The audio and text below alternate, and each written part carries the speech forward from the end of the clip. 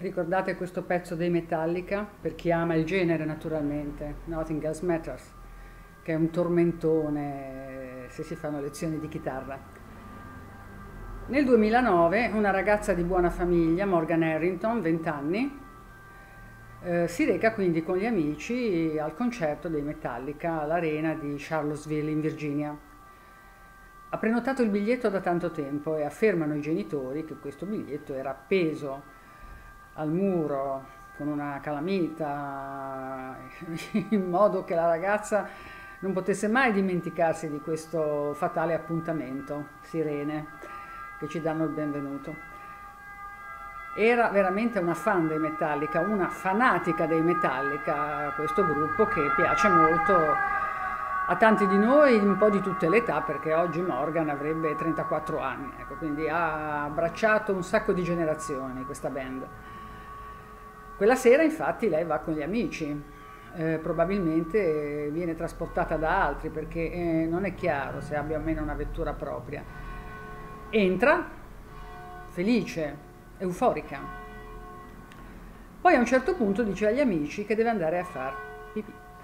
E esce, si, si indirizza verso i bagni ma non torna più. Chiama al cellulare un'amica o un amico e dice che si è persa e a causa della disposizione dei corridoi, delle transenne, è finita fuori eh, dall'anfiteatro e non la fanno più rientrare perché questa è la regola. Da quel momento non si avranno più notizie di lei. La si cerca per un po' e si ricaveranno delle testimonianze da cui si desume che a un certo punto era in compagnia di alcuni ragazzi. Eh, chi la segnala la descrive bene, con questa minigonna, gli stivali, eh, un abbigliamento appunto un po' metal. Eh, I genitori sono ovviamente molto demoralizzati, eh, come in questi casi. Un genitore è, la fanno cercare, non la trovano, ma dopo qualche mese un contadino, il solito contadino, in queste storie americane spesso il contadino col trattore arriva, pum, inciampa, incappa in dei resti. L'esame del DNA e alcuni oggetti ritrovati, la borsa, eccetera, eh, porteranno proprio a Morgan e poi al suo assassino. Ora non staremo qui ad analizzare eh, la vicenda, perché quello che interessa soprattutto è come eh, le vicende vengono raccontate mediaticamente.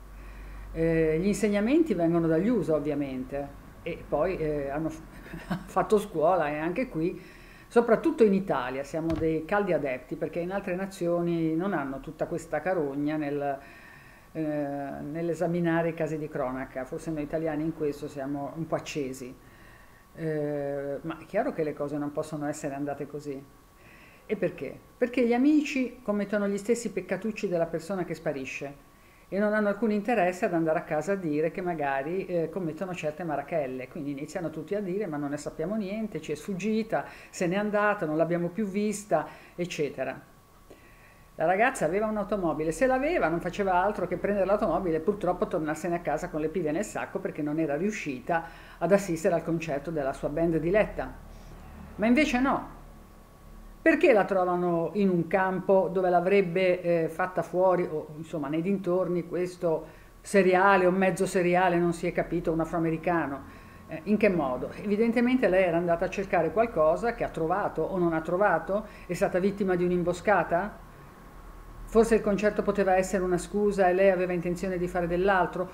O ancora, con lei c'era qualcuno lei ha fatto da battistrada per alcuni dei suoi amici e poi non è più tornata indietro? Allora, le vicende non sono come ce le raccontano, le raccontano come in un film, tagliano delle parti che possono non essere interessanti e soprattutto saltano a pie pari certi aspetti della vita della vittima. Se si vuole la verità bisogna conoscerli, altrimenti è soltanto un romanzo che ci hanno raccontato. Ciao, alla prossima!